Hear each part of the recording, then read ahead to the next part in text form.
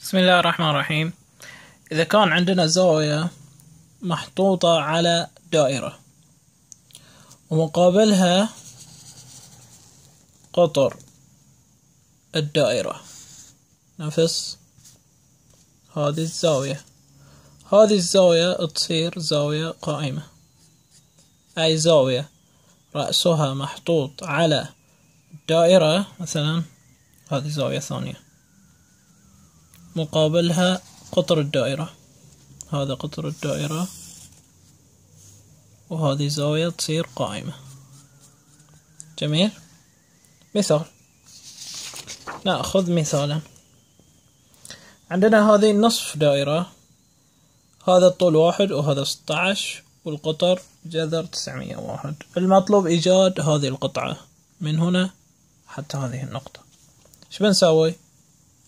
خلاص بنرسم زاوية مقابلها قطر الدائرة. من هذه النقطة إلى هذه النقطة؟ جميل. وإيش هذه صارت الزاوية؟ ذي قائمة. نطبق نظرية فيثاغورس. بيصير هذا الوتر المقابل للزاوية القائمة. الوتر تربيع. اللي هو تسعمية وواحد أس اثنين. جذر تسعمية وواحد أس اثنين. يساوي واحد تربيع زائد طول ذا الطلع الضلع تربيع. نسميه مثلا ألف ب. زائد ألف ب تربيع. بيصير ألف ب. يساوي جذر هذه بتصير تسعمية واحد. ننقص منها واحد نقل الواحد هذي بيصير جذر تسعمية اللي هي ثلاثين. إذا هذا الطول ثلاثين. جميل. الآن كذلك إذا هذه الزاوية قائمة وذا خط مستقيم بتصير هذه الزاوية أيضا زاوية قائمة. جميل. نطبق نظرية فيثاغورس. ستة عشر تربيع زائد ثلاثين تربيع يساوي طول هذا الضلع تربيع نسميه ألف نون. ألف نون تربيع. بيطلع ألف نون يساوي أربعة وثلاثين. لأن هذا المثلث يشبه لمثلث معروف أطول أضلاعه خمسة عشر سبعة عشر وثمانية. لكن هذا المثلث مضروب في اثنين. بدال الثمانية ستة عشر وبدال الثلاثين خمس وبدال الخمسة عشر ثلاثين. فيصير هني بدال سبعة عشر سبعة عشر في اثنين. أربعة وثلاثين. حلو؟ أو تطبق النظرية وتحلل وتجيب جذر الأربعة وثلاثين تربيع. حلو؟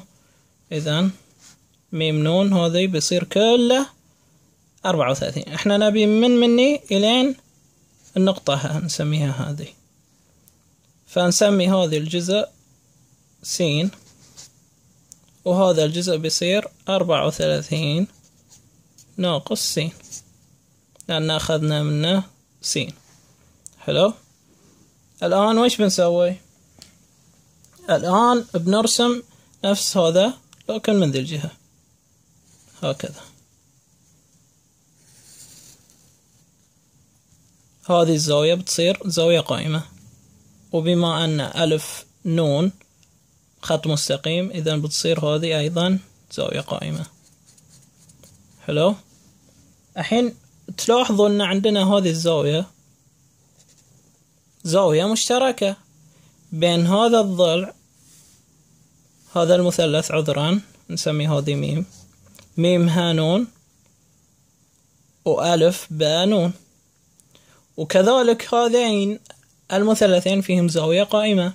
إذا فيهم آه، زاويتين متشابهتين. لذا فإن المثلث أو زاويتين متطابقتين فيصبح المثلث المثلثان متشابهان.